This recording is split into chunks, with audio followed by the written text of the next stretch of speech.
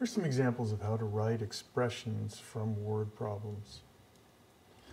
I ordered some books online for myself and friends.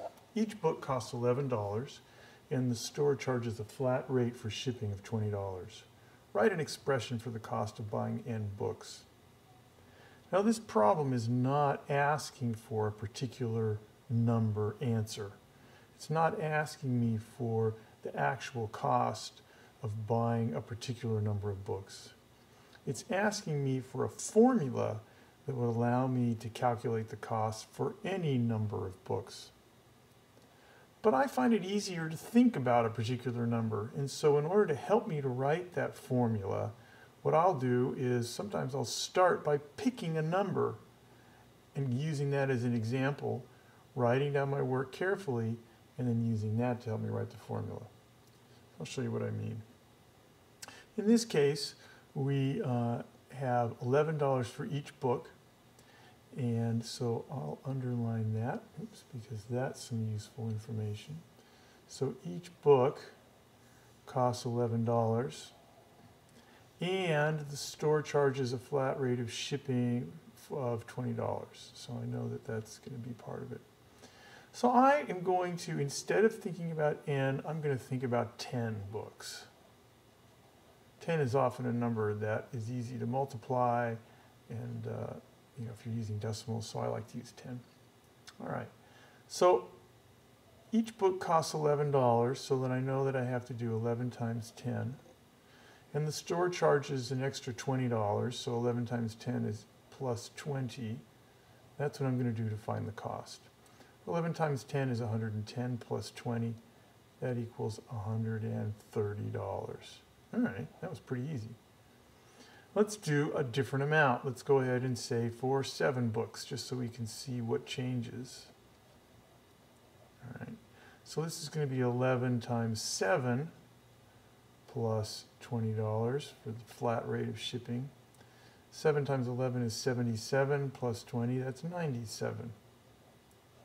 Okay, so from those two examples I can see I always do 11 times the number of books plus $20 for shipping. And the expression asks for buying n books. So if I just take the 10 or the 7 out and instead write n in that place, I have the expression 11n, 11 times n, plus 20. Let's take a look at this one down here. I'm going to go ahead and uh, read it with you. Louis had a savings account with $128 in it. He started to save $24 per week. How much money will he have in his account after W weeks? I'll give you a hint and then uh, let you work it out yourself. You can pause the video and uh, I'll give you the answer. I like to go and take a look at the numbers and underline $20, $24. And since it's $25 per week, that's useful for me to know. So I'll underline all that. And then, of course, we've got his account, savings account starting with 128. So try it. Maybe try it for 10 weeks. Try it for five, six, seven weeks. And then see if you can write your formula. Okay, hopefully you've had a chance to take a look at that. If not, pause now and then, uh, and then do it. But here we go. So it's going to be 24 per week, so it will be 24 times 10. And then I have to add 128.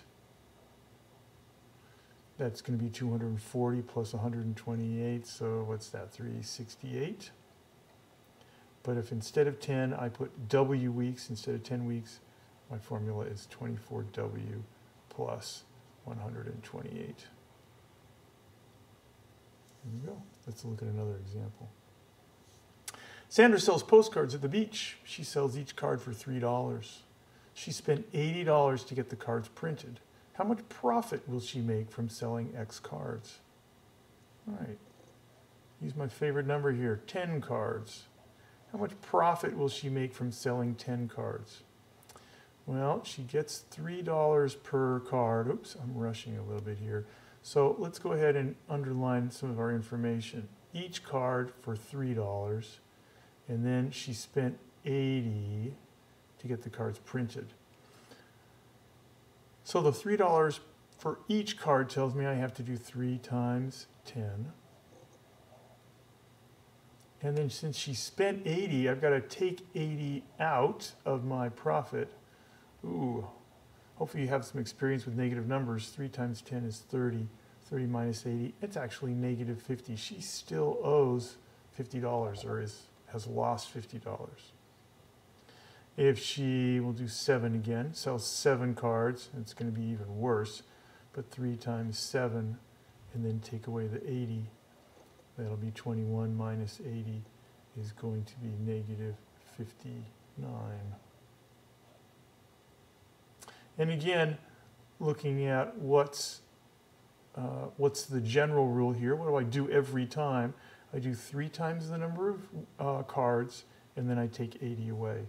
So it's going to be 3x minus 80. All right, go ahead and take a look at um, this next one, uh, at this next one here. Leslie borrowed $50 from her brother. She makes $12 per hour at her job. How much money will she have after working H hours?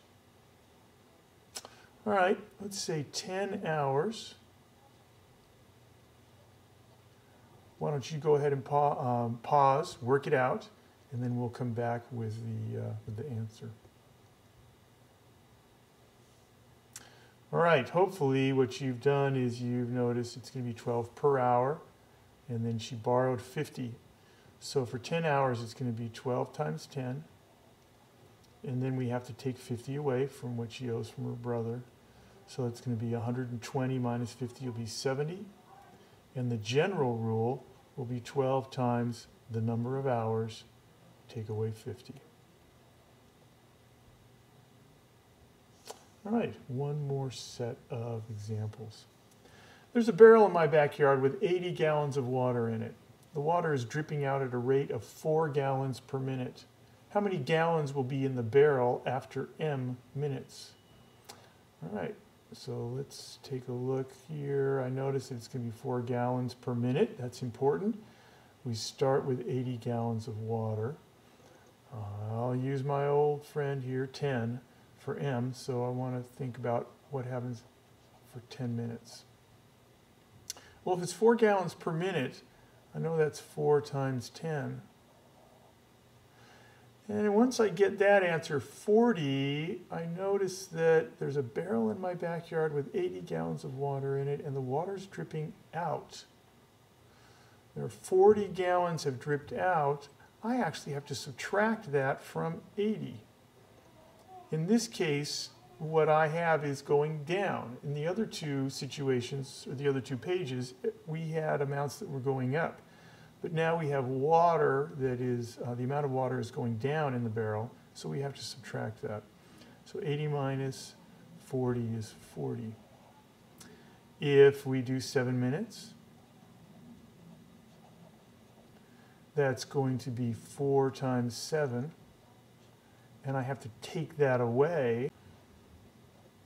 So 80 gallons minus 28 is going to be uh, 52. So notice again, I started, uh, I subtracted this from 80 again rather than subtracting it from the 40 because we're assuming that we're sort of starting over. Every time you consider a new number of minutes, you assume uh, what if it were seven minutes instead of 10 minutes, not in addition to or not after that. So after 10 minutes, there'll be 40 gallons left. After just seven minutes, there'll be a little bit more. There'll be 52 gallons left in the barrel. Well, what happens every time? I always start with 80. I take away four times something, and that's the number of minutes. So it's going to be 80 minus 4m is the rule. All right, this is our last example. So go ahead and uh, pause this. Uh, take a look at this problem, work it out for yourself, and then you can come back and check your answer with me. All right. So when I look at this, I notice every day they use 1.5 pounds of cheese. We start with a 35 pound block. How much cheese will be left after D days? Well, for 10 days, it's going to be 10 times 1.5, and that's 15, but we have to take that away from the 35. So 35 minus 15 is 20. And what I'll be doing every time is I'll be taking uh, the number of days, multiplying it by 1.5, and then taking that away from 35. So the rule will be 35 minus 1.5d. There you go.